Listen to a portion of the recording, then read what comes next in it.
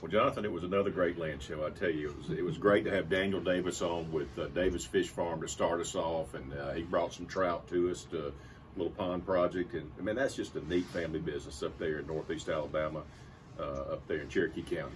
Sounds like a great setup, and I'm looking forward to you disclosing the location of that. no trout for you.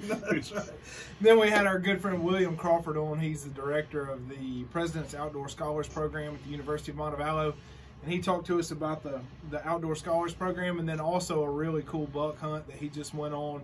Uh, we're going to post the link to that adventure buck video there on the Land Show Facebook page. Yeah, it's a great program, great scholarship money there for for those of y'all that have you know kids or grandkids interested in the outdoors. Great program at Montevallo.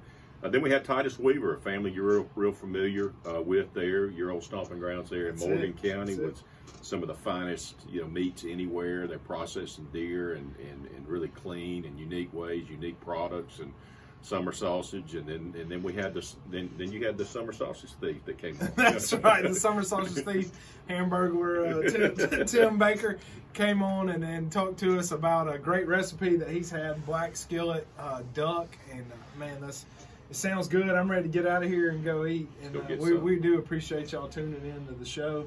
And uh, hey, if you've missed any of the previous episodes, go to thelandshow.com, check out the podcast section there. And Dave and I always love getting questions from you. Info at thelandshow.com. Y'all please tune in and join us next week for more of The Land Show.